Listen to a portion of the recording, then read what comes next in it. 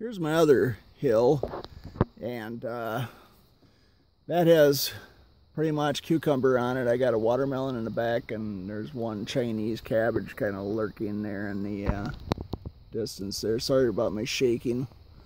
Anyway, uh, so that's, I got a little ledge there, and uh, I'll have to see what happens over the time here with these. And I, I'm kind of hoping the vines will go down and it'll be easy to pick.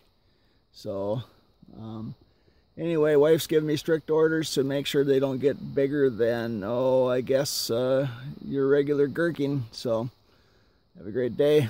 Thanks. Bye.